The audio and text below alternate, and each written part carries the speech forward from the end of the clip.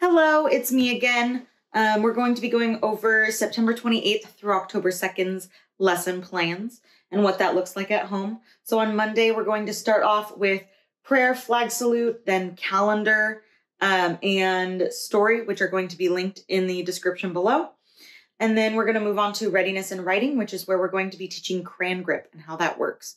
So one of the parts of crayon grip um, is finding out which hand is their dominant hand.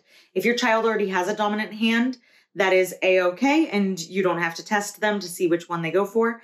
Um, if they do not have a dominant hand yet, which usually they'll start to develop their dominant hand around four and five years old, um, uh, sometimes into six even, um, they're uh, then there's a few different things that you can do to kind of test to see which hand they're more likely to go towards. That also does not mean that that's going to be their dominant hand every time, um, especially since they're still developing. So, in order to um, have them test their dominant hand, have them throw a ball at least like five times, try that out. Um, then what you can do is also pass them an object to the middle of their body and they'll reach for it with whichever hand they tend to go for. Again, do this about five times and just take a mental note. Oh, they grabbed it with their right hand or oh, they grabbed it with their left hand. Um, and so that's helping to teach um, that helps to teach crayon grip. The other part of this is there's multiple ways that you can actually write. Um, the first way that um, you can teach is if you hold up two fingers. So we do our like one finger points, two fingers walk, do do do do um, song. And with this, what we're going to do is we're going to hold up those two fingers. You can stick it right like this, and then your fingers can collapse in these two fingers right here. This is a correct form of crayon grip. Um, you can do it with your both right and left hand. Just teach them that they want to be as close to the tip as possible. The other way to be able to do this is hold up three fingers um, and then you'll teach this. These two fingers again will be down and you can do that again on the other side as well. Um, if you have a small object like um, a marshmallow or a puffball or something like that, that they can then hold in these two fingers um, it helps them to hold their fingers down and um, it helps to train them like oh yeah i only use these three fingers when i when i write or i use these four fingers and my pinky kind of just floats. So that's a way to teach crayon grip. Um, the next thing that you're going to be doing is uh, most of you will have this book sent out to you. Um, it has a whole bunch of different activities in it please do not go ahead because when it comes time to um, be safe and meet again in person, then that's going to be when we are able to actually move ahead in this book together and it will then be in class instead of at home. Um, the goal of this is um, you're going to start off with the night sky on page five. It looks like this. Um, it has moon, stars, and then fireflies. Uh, you're going to first, again, go over that crayon grip with your child. Then you're going to um, talk about the picture. So, what color are the stars? What about the moon? What about the fireflies? Um, have them point to each um, part of this picture first before they color it. And then um, before coloring, also ask them, what color are the stars? What color is the moon? What color? What color are fireflies? And if they don't know what fireflies are, then um, maybe show them a, a video um, or a picture of a firefly lighting up and show them, oh, look, it's yellow. Um, the goal of this is going to be um, point and scribble and getting them used to using a crayon in the correct way and um, used to holding it. Now, um, Handwriting Without Tears or Learning Without Tears, which is this curriculum, um, believes firmly that, and it, I do as well, which is um, tiny tools for tiny hands. So um, they have those like large jumbo crayons. I highly recommend not using those at all. Um, it teaches incorrect crayon grip and it teaches them to fist the crayon instead of actually um, using the correct crayon grip. That's also one of the reasons why I don't necessarily like markers. Um, so if you can use crayons on this at um, at all, if at all possible, please do so. If you need crayons, let me know and I can get them to you. Um, so before coloring, again, point to each object. The point of this is going to be then scribble or like make little circles around the object. Um, and you're going to color in the same order. So, okay, we're going to color the stars. Point, scribble. Good job. Okay, can you find another star? Point, scribble. Good job. And it's going to be um, filling in those stars. Uh, then we're going to move on to um, count this way and that, which you're going to need the tag bags for. So with that, you're going to need two green tag bags and three red tag bags. You're going to put them in the middle between you and your child, and you're going to um, talk about them. So um, when you go to count, it'll be okay, how many red tag bags do we have? So then teach them that as they count, they can grab one and put it in their hand. One, two, three. There's three red tag bags. One, two. There's two green tag bags. And that that final number means that's how many there are. Um, we're really trying to work on that one to one correspondence and really grow in um, their counting and math abilities. Um, the Bible story coloring page is going to be Joseph, and I'll have the Bible story linked below. It's also right here, which is Genesis 42 1 through 45 28. Um, there's a lot of really good stories um, based around this, YouTube videos for kids and things like that that are short and concise. Um, I'll link one down below so that you guys have that available to you. Uh, the next activity that you're going to do is follow me. Um, this is for language and literacy, and you're going to give your child the two big lines. Normally, um, they're actually made of wood, but because I have to hold on to my supplies and I made copies for you um, with cover paper, um, you're going to sing the song Tap, Tap, Tap.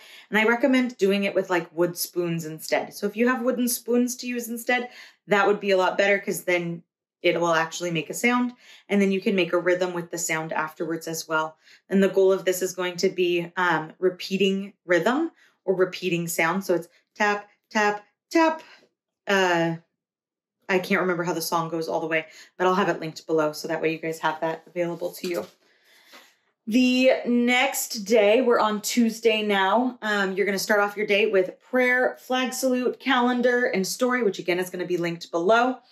And you're going to start your day with where do you start your letters at the top?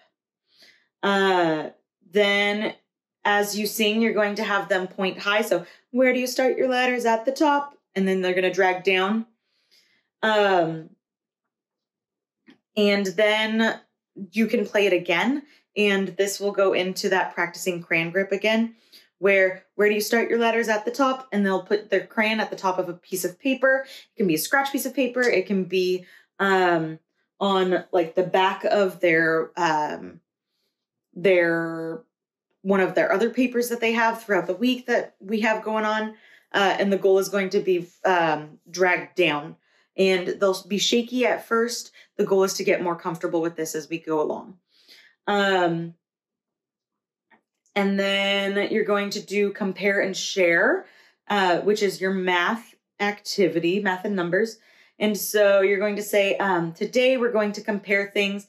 We're going to find big things and small things. This is stuff that you can have pre selected. You could have big dolls and small dolls. Um, you could have a big teddy bear and like a small line um, or a little line or something like that. Um, and then ask the questions like, this is a um, this bear is small. How do you know that this bear is bigger than this bear? Um, and you can listen to them, encourage them to um, to explain as much as possible, and so um, listen to their answers. Maybe ask pointed questions. So, um, how does it feel when you hug the bear? And so when they then go to give it a hug, if it's a big bear, it might take them. Um, it might give them more space. That's measuring circumference right? So it's uh, everything has a pointed question to it. If you need help with those pointed questions, feel free to ask. Um, but they they can talk about height, weight, or even how the bear feels, um, and those are like the lead-ins for those pointed questions. The next activity you're going to do is you're going to make a dog. Um, this is your arts and crafts, and I wrote out the order for you. I have everything um, prepared and ready in a bag labeled Tuesday for you. So in this, um, you're going to first do the gray circles, then the white circles, that um, for the eyes, then you're going to do the black half circles for the ears, and then you're going to do the white nose. There's a little white circle here that you can barely see. Um, and then you're going to do the red bottom circle, the little black top circle, and then the two eyeballs. Um, and you'll be pasting these on. And so I have everything provided for you in the packet. The next thing we're going to do is rhyming animals. So you're going to come up with some words, animals, and objects. Um, listen to um, the words. So like B, key. Um, do you hear how they have E and E? So rhyming words have the same ending sound and explaining how rhyming words work. Um, then what you're going to do is um, come up with another object. So maybe it's a hat instead. Do hat and key rhyme? Hmm. At, e. Are those the same? Those are different. Um, and we've worked with those same and different words before as well. So hopefully those can get reinforced in our vocabulary. The next thing you're going to do on Wednesday, so we're now on Wednesday, is prayer, flag salute. Then we're going to do um, calendar and story, which are again going to be linked below. Um, next, you're going to be teaching crayon grip. It's the same exact thing. So um, a different day, a different hand, maybe. So um, try having them toss a ball. It will help to enforce their dominance as well, um, or their hand dominance. Um, pass them an object a few times. Um, if you have snack or something like that, hand it to them um, in the middle of their body and then encourage them to like eat it. Um, you'll see which hand they go for. Uh, and then you're going to do Twinkle, which is on page oof, um, six. It looks like this picture. Um, you're going to ask the questions um, Do you sleep under a quilt? Um, what color is it? Have you ever seen stars in the sky? What color are they? Let's find the quilt. Let's find the stars. And then um, that's all pointing. And then when you go to color, you're going to say, let's find the quilt. Um, and you'll color the quilt. And then let's find the curtains. And so then they'll color the curtains. After that, then it'll be, um, let's scribble the stars. And the goal is going to be that they color in the stars. And this is again going to encourage that little um, either circular movement or um, their side to side diagonal or up and down um, whichever they're developmentally at. The next activity is going to be um, line count, which you're going to line up tag bags and have them count forwards. So you're going to have them count forwards and then you're going to have them count backwards. Um, and then you can also have them build a pattern and then count their pattern forwards and count their pattern backwards. So if it was that red and green again, you could have three red, two green. So it'd be red, green, red, green, red. And then you're going to count forwards one, two, three, four, five. And then you're going to count backwards one, two, three, four, five. And count that there's five. And then ask them, how many red do you have? One, two, three. Three red. How many green do you have? One, two. Two red, three green or uh, sorry, two green, three red. Wow, we have five. And that also helps to encourage their math abilities. Um, don't try to show them a plus sign yet. That's a little more complicated. Um, next, your uh, Wednesday activity is going to be um, trace, color, and cut the triangles. So, first have them trace. This is a new word that is going to be um, asked of them, especially as we move forward in this book and we um, encourage more of that crayon grip. So um, first trace, and then once it's traced, then they can color the inside of it. And then as soon as that's done, then they can cut um, and use that scissor practice that we're going to be trying to build as well. Um, the thing after that that we're going to do is it's in the name. So um, for a challenge, have your child predict what will happen only after hearing the title of a book. So you'll need a book for this one. And then um, for an added challenge, you can have them draw pictures of what they think is going to happen in the book um, and make predictions about what is going to happen. And then for more fun, you can have your child dictate or tell um, a news story with that same title. So that's a fun little activity to do with your child. Up next, we have Thursday. We're going to start off with prayer, flag salute, calendar, and story, which are again going to be linked below. Then you're going to do capitals with the mat. Um, this involves Mat Man, um, just the body of him, so that blue mat. Um, the goal of this is going to be scatter wood pieces on the floor um, in front of your child, and then give them the mat from Mat Man, um, and then you're going to build a letter. And so um, I encourage you to build either an F or an E, something like that. Use the big long, or use the big line and put it um, right here. And we usually um, build letters from top to bottom and then from left to right. So um, uh, encourage them to build them that way. And then when you are done building your letter, have them trace it. So start from the top. Where do you start your letters? At the top um, drag down and then across as well. So encourage them to go back to that big line before they move forward in that letter. The next page you're going to um, do is going to be fireworks right here. Um, this is going to be encouraging them to put the crayon in the middle of this and then to scribble out in their firework. So this is a scribbling activity. Um, it encourages them to use diagonals. It encourages them to use up and down. It encourages them to use side by side um, or side to side. And so um, have them practice this as well. I have the order that you're going to say. So have you ever seen fireworks? What color are they? Do we see fireworks during the day or at night? Uh, and then let's find the fireworks and then let's find the children. And then you're going to say, um, or and then from there you're going to um, color the children and then scribble the fireworks and then um, so put the crayon in the center of the firework and then scribble so that's that activity. The next thing you're going to do is family comparison. So look at a photo of your family. Um, a lot of people have family pictures. Please tell me you have a family picture. Um, and you're going to talk about who's bigger who's um, who's bigger than them who's smaller than them.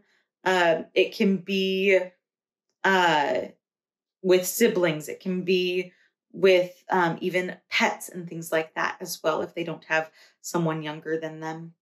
Uh, so, yeah, encourage that. And then, next thing you're going to do, the craft for this day is going to be Mat Man.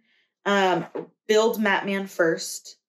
So, um, again, use the it, this shows you how to actually build Mat Man um, and what objects you'll need for that.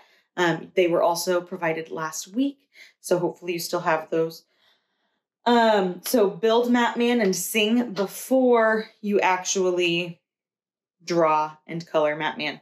And then over here, they already put the head and the body together. Encourage them to trace the body and the head before they add the legs and the hands and um, the ears and any other objects that they might so desire. And so this is Mat Man. Again, everything is labeled on the back as well.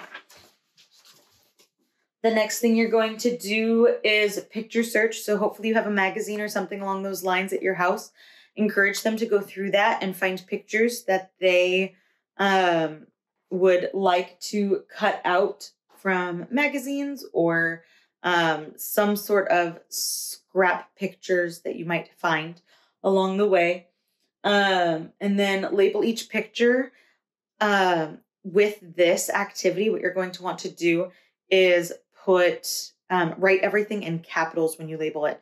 So children will um, children will first develop capital letters. It's easier to like learn capital letters because they usually all will start at the top and go down to the bottom um, if you mix in lowercase letters, then it teaches them that some letters start in the middle and go down below the line, and developmentally they they might not be there yet. Um, to be able to identify the difference with that. Um, so definitely um, start with just capitals when you're doing this. Um, and that is the end of Thursday. So then we're going to move on to Friday. Um, Friday, you're going to start off with prayer, flag salute, calendar, and story, which are again going to be linked below. Then you're going to teach crayon grip again. So different day, different hand, possibly. If not, they might start to pick up, oh, I like this hand better. Um, and it encourages them. The uh, next thing you're going to do is this page in your book. It's page eight. Um, you're going to talk about um, this little box. When I talk about the box, so um, have you ever seen ants? What color are they? Have you ever seen ladybugs? What color are they? Have you ever seen bees? What color are they? Um, and then you're going to go into let's find at the top of the page the box. What color are the insects in the corner? What color is the ant? What color's the ladybug? What color is the bee? Um, they have them labeled here as well. So black for the ant, red for the ladybug, and yellow for the bee. The goal is going to be color the bugs, uh, the different colors, so that way they are able to identify, oh, this is an ant, this is an ant, this is an ant, and this is an ant. As soon as they're done coloring, then you can actually have them count as well. So how many ants do we have? And then one, two, three, four. You can have them count um, and practice that as well if you would like as an expanded activity. The next activity that you are going to do is counting colors. So you're going to give your child a tag bag of any color, and then you're going to encourage them to um, go out into the house and find objects of that color. And then when all of those objects have been gathered, then you're going to count how many objects they ended up finding. So if the color was orange, then they found five objects. We count, okay, one object, two objects, three, four, five. Good job. Now, can you please go and put them away? Encourage them to put them back in the spot that they found them instead of just dumping them. Um, and this helps with object placement as well. Um, so that is the math activity. The other activity that we have for you for our arts and crafts object is going to be a fall tree. Um, ask them to look outside, see what they see on the trees, see what, if they see any leaves on the ground. This is a great time to start looking at the ground um, and noticing that trees lose their leaves. So um, a lot of the leaves are going to be down here. So you'll take, um, hopefully you have some liquid glue. If you don't, contact me and I can get that to you. Um, so put liquid glue um, down here and then some in the in the tree, not a lot in the tree because again, trees are losing their leaves at this time, so they're down here more.